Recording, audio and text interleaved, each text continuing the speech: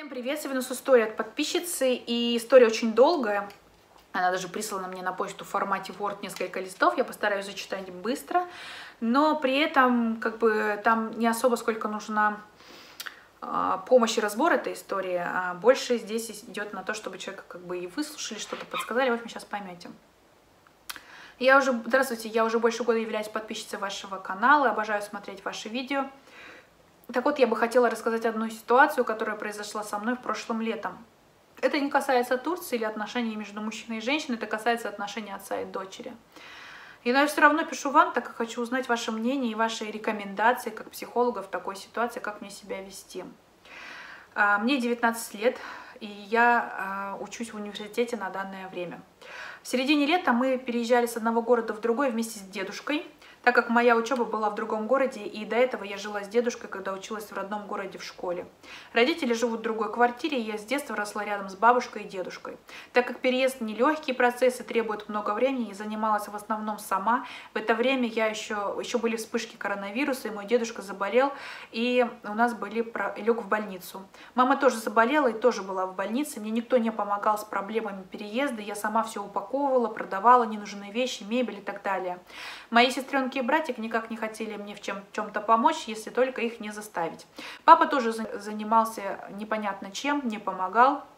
В этот момент он безработный уже 5 лет и всегда где-то пропадает и иногда только что-то зарабатывает на непонятной работе. Он никогда не делится, чем он занимается, что делает. Так что я не в курсе. Так вот, в один из таких дней, когда я продавала кухонный гарнитур двум людям, сестра и брат, э, я не заметила, как они вместе с кухонным гарнитуром забрали и фильтр для воды. А эта штука в свое время стоила полторы тысячи долларов, и я не смогла найти номер этих людей в своем журнале записи, так как мне много кто тогда звонил по поводу продажи мебели и так далее, и я иногда удаляла сразу же номера. Поэтому позвонила в полицию и маме. Маме рассказала все, что случилось, она потом позвонила папе и рассказала ему. Потом папа и полиция приехали и написали заявление в полицию. Мы были уверены, что фильтр украли, так как не дешевая штука, и она не входит в комплект кухонного гарнитура.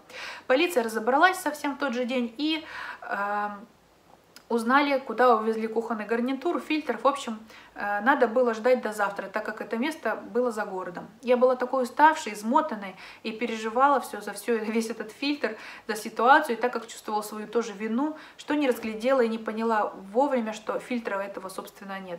Даже успела поплакать до приезда полиции, когда разговаривала с папой, было страшно мне и обидно. Я сама не поняла, как могла такое допустить, но когда брат э, этой девушки, которая пришла к нам, чтобы купить кухонный гарнитур, разбирал его, я э, разговаривала разговаривала с мамой и э, с самой девушкой этой, и она просила меня показать ей какие-то еще вещи, которые мы передаем с переездом. В общем, у меня было много задач, я ей все это показывала, какие-то мелкие вещи, и думаю, что это отвлекло мое внимание. В общем, это было уроком для меня, что в будущем надо быть внимательнее, когда запускаешь чужих людей в свою квартиру. И четко следить, что, чем они занимаются в твоей квартире. Так вот, вечером того же дня, когда я осталась одна после прихода полиции, то убиралась в квартире и заканчивала остальные дела. В день папа привез домой дедушку, он забрал его из больницы, хотя его врачи не выписывали и сказали ему самому следить за домом, самому заниматься переездом и так далее про этот фильтр еще. Но к вечеру папа снова забрал дедушку обратно в больницу повез, так как он был болен все еще и он не выздоровел. Я так и не поняла смысл этого поступка, если честно. И в голове была одна мысль, что с папой не так. Потом, когда он отвез дедушку обратно в больницу, то приехал ко мне домой и начал меня винить, упрекать в том, что я позволила украсть фильтр. А я в этот момент была в ужасном состоянии морально из-за переживаний. У меня болела голова, упало давление. Я подумала, что мне только от этого еще и не хватало слушать обвинения в свой адрес. Я честно сказала об этом папе, что мне тоже было нелегко вообще-то одной справляться с вопросами переезда, и что у меня нет э, несколько пар рук, глаз, чтобы следить за всем вокруг и что происходит, следить за тем, что происходит в квартире. Он видел мое состояние, я плакала, и все равно продолжал обвинять. Я поняла, что начала язвить ему в ответ, но по-другому я не могла говорить, так как вместо того, чтобы услышать слова поддержки, успокоения, меня упрекали, тыкали лицом в то, что я сама виновата, и, в общем, не уследила. В этот момент он резко подошел ко мне, взял огромный нож со стола и ударил им по моей голове, и удержал. Я удержала за локоть и хотел вонзить вот этот нож мне в живот. Я сама не поняла, как все так быстро случилось. Мы стояли на кухне, и от шока я даже и боли я не почувствовала. Но когда до меня начало доходить, что в меня собираются вонзить нож, я начала кричать и прикрываться руками. Он отпустил меня и поставил нож обратно на стол и отошел. Потом начал громко угрожать мне, что если я еще раз ослушаюсь его или буду говорить что-то против него, то он всегда будет бить меня и будет наказывать. Угрожал, что заберет меня с университета, и я буду сидеть дома, а не учиться и всякое в такое в этом роде. Я уже точно и не помню. Я была в состоянии такого шока и сразу же перестала плакать и стала, в общем, на месте куда-то, не могла двинуться, сделать шаг. Я просто стояла и смотрела вниз. Я была так напугана, и мне было ужасно страшно за свою жизнь. А на столе лежал мой телефон. Я сразу же взяла его в руки и спрятала. Потом он мне э, приказал отмыть пол на кухне и уехал. А я оставалась в доме одна, и как только он уехал, начала писать подруге о том, что случилось, начала плакать на взрыв. Мне было очень плохо и отвратительно. Я чувствовала отвращение к себе, что появилась на свет из-за его, из его сперматозоида. Мне стыдно было. Он был противен, этот человек, что мысль о том, что мне, во мне есть его гены это, этого человека, мне вообще эта мысль была просто противна. На столе тогда лежал нож, который он замахнулся на меня, и я взяла этот нож и думала даже о самоубийстве. Но эта мысль возникла так же быстро, как и ушла. Я не хотела убивать себя из-за того, что я верила в то, что у меня есть все-таки будущее лучшее. Я не могла поверить, что человек был способен на такое, и не просто человек, а близкий родной папа. Он и в детстве меня бил, тем, что ему попадалось под руки, кидал тяжелые игрушки, и в сестру также, если мы его злили. Когда мне было 8 лет, а сестренке 4 года, то мы оба видели, обе видели, как отец бьет маму, угрожает ей, а мама лежала и плакала. А папа приказывал ей замолчать, заняться детьми. Я четко помню этот момент, после этого мне было страшно рядом с ним находиться. Я понимала, что если он что-то просит, то обязательно надо это выполнить. Я никогда не была близка с отцом. Из-за этого я уже не допускаю его. Мы с дедушкой переехали в другой город, и папа мне время от времени звонит и говорит, чтобы я приехала в гости обратно, ибо он скучает и начинает баловать меня в словах.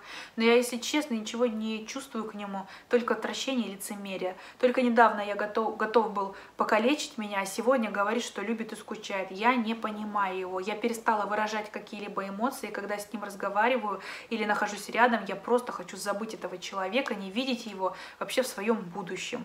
Были мысли разорвать с ним связь и не общаться. Я хочу поддерживать с ним связь больше, э, ну не люблю и не скучаю я по нему.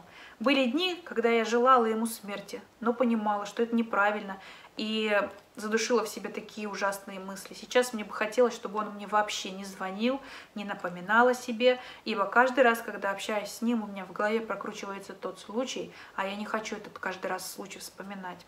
История получилась очень длинная, я бы хотела услышать ваше мнение об этой ситуации и послушать ваши рекомендации. Спасибо, что уделили время, прочитали.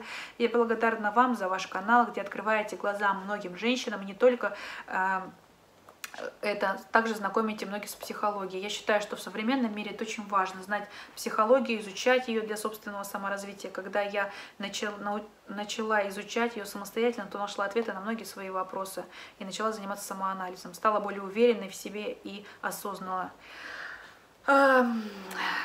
Вот женщины, жертвы абьюзеров и кто в тяжелых отношениях, вот вам пример, как может сложиться жизнь ваших детей, которые терпят абьюзы и, может быть, ради детей вы их терпите, кто так себя оправдывает.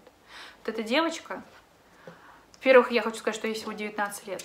Я не то, что я там ее уменьшаю, она 19 лет здесь очень умная, это, видимо, тот случай, когда человек уже довольно-таки много, к сожалению, своему бэкграунду, спасибо в кавычках, повидал уже, нехороший у нее там опыт, да, в жизни есть. И я что хочу сказать, что вот она ситуация, когда девочка, кстати, очень грамотная, хорошо написано письмо, Видно, что человек очень много осознает и понимает. Слава богу, некоторых и в 30-40 лет этого нет самоанализом. Я вот хочу отметить, что вот ее маму били, сестру били, еще братик есть. Это жертва абьюзных семейных отношений, когда мама не ушла и осталась по каким-то причинам. У папы явно какие-то проблемы, в нем копаться мы не можем, никакой информации нет. У папы явно проблемы с головой, неконтролируемая агрессия. Девочка, которая прожила всю жизнь, лучше ничего не видела, и то она понимает, что это не норм, это не окей. И так продолжаться не может.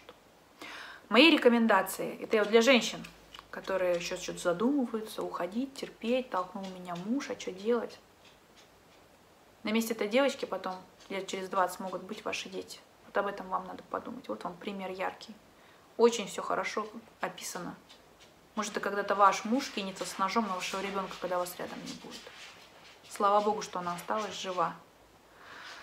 По поводу ситуации этой. Я не сторонник, я уже мне на консультациях, я девочки, кто мне попадали абьюзные всякие отношения и все такое прочее, я всегда говорю, я, может быть, не права в этом, но я считаю так, что э, жертвы физического насилия, когда вас обижает физический человек заведомо сильнее вас, вы ответить не можете.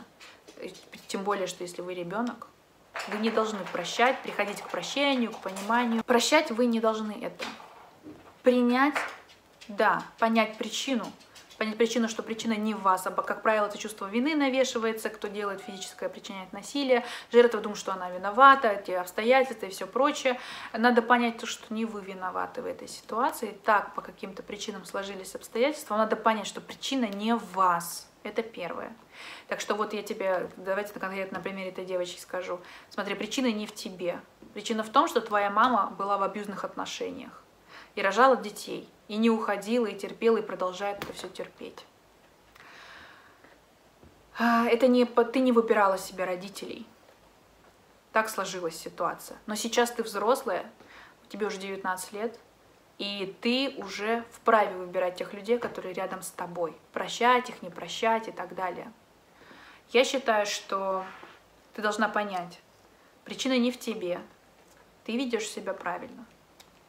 Ты должна вести себя так, как ты чувствуешь, быть раскрепощенной настолько, говорить то, что ты хочешь. В семье, вообще, в принципе, с людьми. Обычно у проблемы коммуникации, у жертв абьюзеров, у детей, они вообще, в принципе, боятся, не верят в себя и боятся вообще поднять голову из песка, потому что всю жизнь учат молчать и подстраиваться под абьюзера.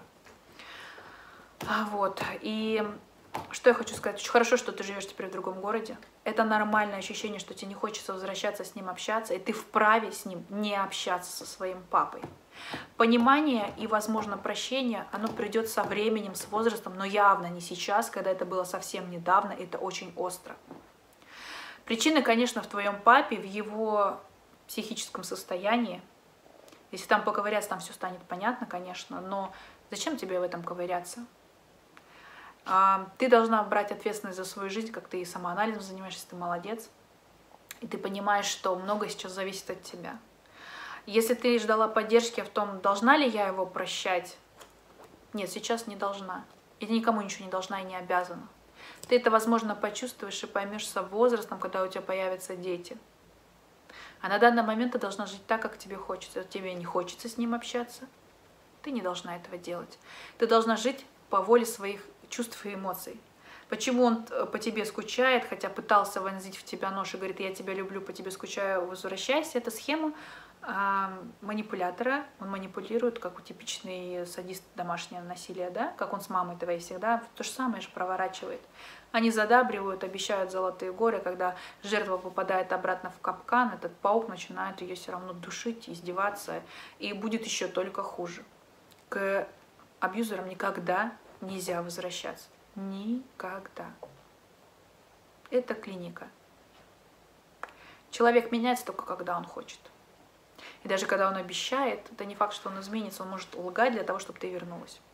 Поэтому не хочется возвращаться, общаться, не возвращайся. Это ты в полном праве, и у тебя сейчас самозащита срабатывает, инстинкт самосохранения.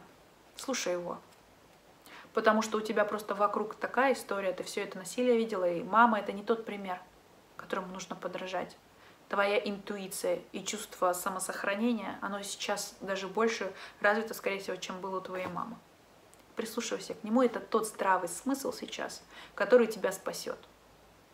А прощать когда-то его или не прощать, это покажет время. На данный момент ты все делаешь сейчас правильно. Главное, не делай шаг назад. Лучше не будет, потому что это системное многодесятилетнее поведение твоего папы. Ну, папа, ну, папа, ну да, родился, ну, такой папа достался. Это не ты его выбирала, понимаешь? Я тебе так скажу, что сфокусируйся на учебе, на будущем и на финансовой своей независимости от родителей. Да, дедушка рядом, вот, я думаю, с дедушкой у тебя лучше, конечно, отношения. Будь в себе уверенной, верь в себя. Как ты считаешь нужным, так и делай. А папа, мама — это не те авторитеты в твоей жизни, к сожалению, в твоей ситуации, которых нужно прислушивать. Они тебе дадут, может быть, неверные советы, потому что они в своей жизни слишком много накосячили тоже. Они принимали, как показывает практика, не всегда верные решения. Поэтому, судя по твоему письму, как ты грамотно, структурированно ко всему подходишь, пишешь, ты знаешь, что делать. Ты не глупая девочка, тебе просто нужна поддержка. Вот я тебе эту поддержку сейчас даю. А по поводу финансовой независимости, это я имею в виду, что работа, лет там учишься пока, но все равно какой-то заработок, приработок, еще что-то, какие-то свои деньги, вот это ощущение независимости, оно тебе даст большую уверенность в себе. И ты еще лучше себя будешь чувствовать, зная, что ты совсем от родителей своих не зависишь. Пишите ваши комментарии, особенно те, кто был в детстве в зависимых, абьюзных отношениях от своих родителей, кто был жертвой домашнего насилия. Пишите об этом в комментариях, у вас возможность об этом рассказать, излить свою душу. Тут с анонимного YouTube аккаунта никто об этом не знает, вам легче станет, кто, честно скажу, проговорив это.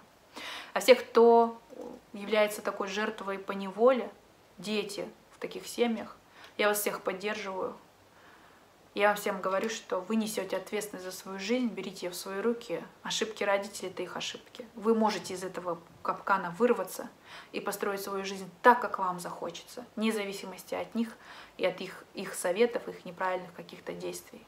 Пусть это для вас будет толчком и негативным примером, и пусть в вашей жизни ничего подобного больше никогда не происходит. Спасибо за внимание. Под видео я оставляю свою почту для ваших анонимных писем, либо записи на психологические консультации. Спасибо за внимание, ставьте лайки видео, если вам понравилось. Скоро увидимся, всем пока.